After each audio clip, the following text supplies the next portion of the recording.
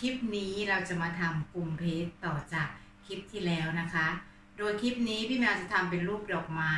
ต่างๆ แล้วก็จะนำไปอบในตู้อบผลไม้แห้งให้ท่านผู้ชมดูนะคะ ว่าทำได้หรือไม่เดี๋ยวไปติดตามกันค่ะ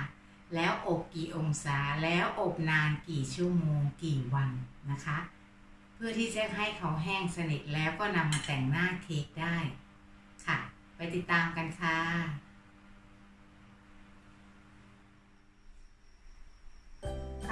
ดูค่ะนี่นะคะ คือกลุ่มเพจที่พี่แมวทำเป็นรูปต่างๆ ทั้งรูปดอกไม้รูปผีเสื้อนี่ค่ะใส่ถาดเอาไว้แล้วเตรียมอบนะคะ นี่ไม่ถาดอบนี่เป็นรูปหัวใจไว้ต้อนรับวันวาเลนไทน์ค่ะและอันนี้ก็เป็นป้าย Happy Birthday นะคะ ส่วนถาดนี้จะเห็น ว่าพี่แมวลองด้วยกระดาษไขเพราะว่าเขาเป็นดอกเล็กค่ะเนี่ยอย่างสีชมพูอย่างเงี้ยนะคะดอกเล็กๆเห็นไหมคะเล็กๆอย่างเงี้ยพี่แมวก็ลองด้วยกระดาษไขเพราะว่าเดี๋ยวเขาจะรอดรูตะแกรงนะคะรูถาดค่ะ แล้วก็เอาชิ้นใหญ่ๆเนี่ยทับกระดาษเอาไว้นะเพื่อไม่ให้ลมเขาพัดเขาปิว ถ้าปิวแล้วเดี๋ยวไอ้ชิ้นเล็กๆเนี่ยเขาจะร่วงนะคะเขาจะกระจายค่ะอะเดี๋ยวเรามาทำการอบกันเลยนะ ค่ะนี่ก็เป็นกลุ่มเพจนะคะที่พี่แมวทำไปคลิปที่แล้ว และคลิปนี้ก็มาทำเป็นพวกดอกไม้ ผีเสื้อนะคะ แล้วก็มาเป็นรูปหัวใจ อันนี้เป็นป้าย Happy Birthday นะคะ นี่ค่ะนะคะ แล้วก็จะมีดอกเล็กๆนะ เอาละค่ะ ให้ดูใกล้ๆแบบนี้นะ เดี๋ยวจะขึ้นอบเลยค่ะ มาไปอบกันดีกว่าค่ะ อบด้วยเตาอบผลไม้แห้งของพี่แมวที่เคย ทำไปคลิปก่อนๆที่อบไว้ตากแหละค่ะ มาค่ะ เราจะเอาถาดชิ้นที่เป็นชิ้นใหญ่แบบป้ายแบบนี้นะคะ เอาไว้ข้างล่างเลย ชิ้นใหญ่นี่เขาอาจจะแห้งช้านะคะอ่าแล้วก็ตามด้วยนี่ค่ะกระกลางเป็นดอกไม้นะคะเสร็จแล้วก็ตัวนี้ ข้างบนเพราะเล็กๆพี่คิดว่าแห้งง่ายนะคะกลับกลับผิดกลับผิดต้องกลับตรงนี้เอออะปิดฝาค่ะ ปิดฝาเลย เรียบร้อย เดี๋ยวมาเสียบปลั๊กกันค่ะนะคะเปิดเสียบปลั๊กเลยค่ะนี่ก็ดังติ๊ดแป๊บหนึ่งนะ รงนี้ไฟขึ้นแล้วนะคะ พี่เมียจะเห็นไหมเอ่ยนะนี่ดูเปิดค่ะ เดี๋ยวจะได้ยินเสียงพัดลมเหมือนเดิม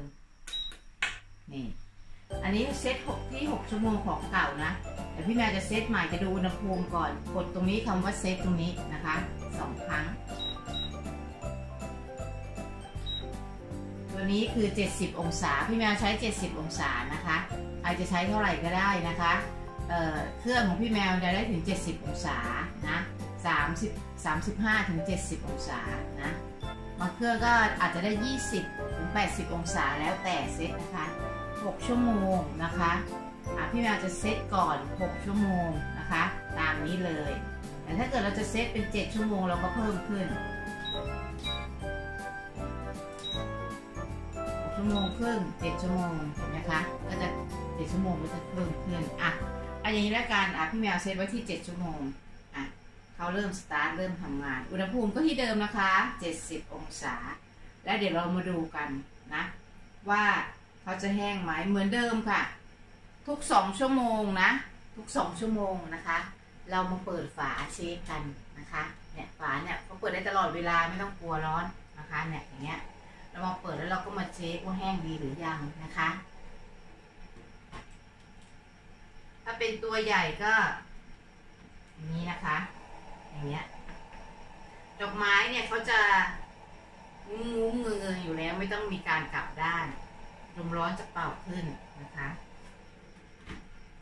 สำหรับอ้าวสำหรับป้ายนะคะป้าย Happy Birthday เนี่ย หนาอาจจะหนาหน่อยนะคะอะแล้วก็ป้ายตัวนี้อาจจะหนาฉะนั้น เราอาจจะอบนานหน่อยก็ได้นะ ให้เขาแห้ง หรือดูให้เขาแห้ง ดูที่เขาเออแห้งนะคะ แล้วก็ เราพอใจค่ะนะคะ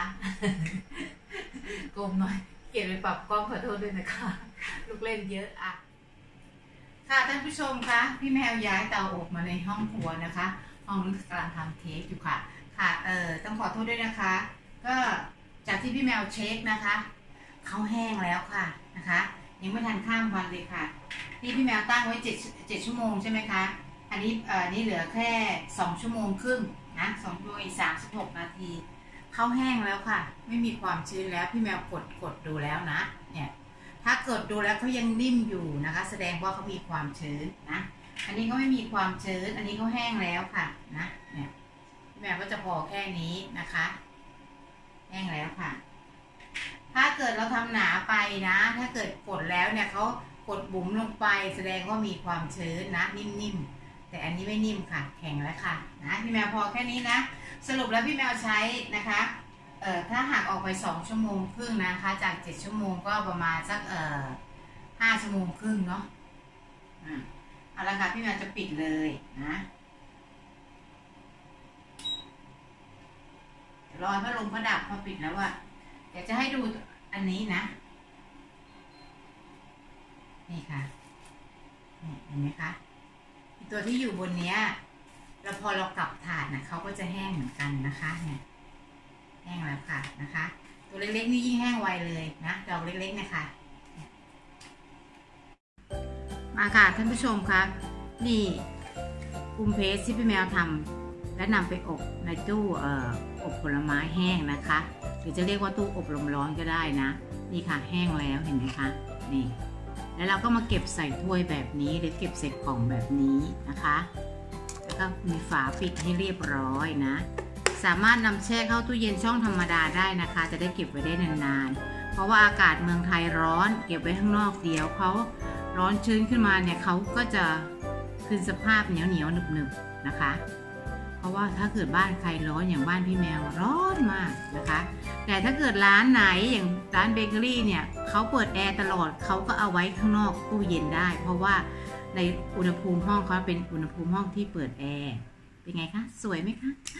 I love you ดูรูปนี้สิคะเห็นไหมคะน่ารักมากเลยชอบมากเลย เป็นนิ้วนะเห็นเล็บด้วยนะเนี่ยดูสิอันนี้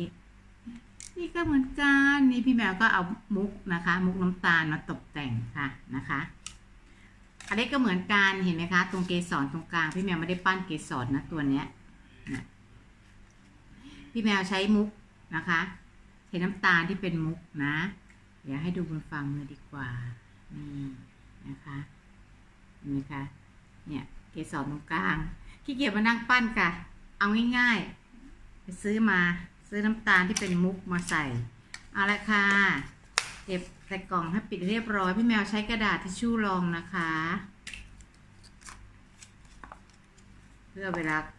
ความชื้นเนาะจะได้ไม่ผ่านเข้ามาโดยตรงติดกับตัวนี้เลยนะเนี่ยเพราะเดี๋ยวถ้าเกิดก็มีความชื้นนะ เขาจะติดกับพลาสติกกล่องข้างล่างก็รองกระดาษทิชชู่ดูดซับความชื้น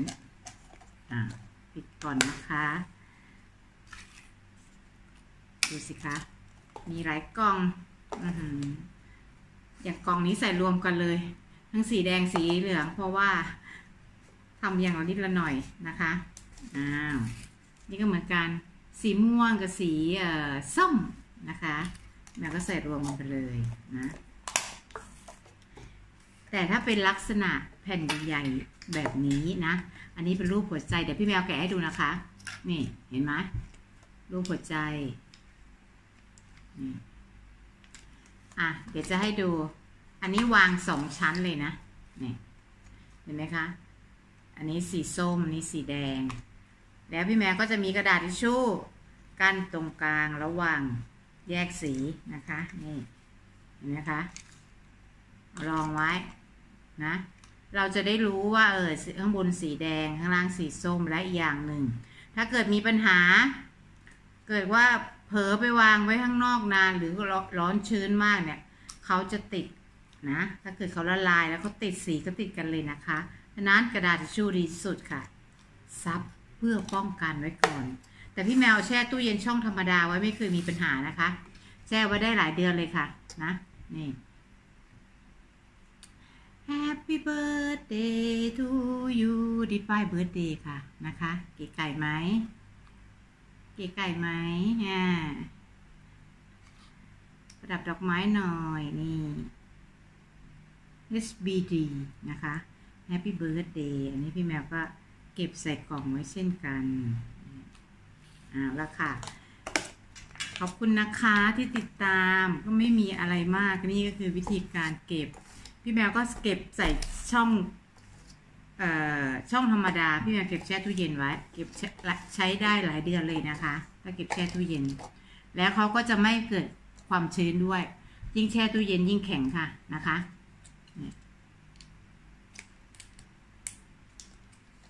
ปิดอันนี้กล่องเล็กอะมี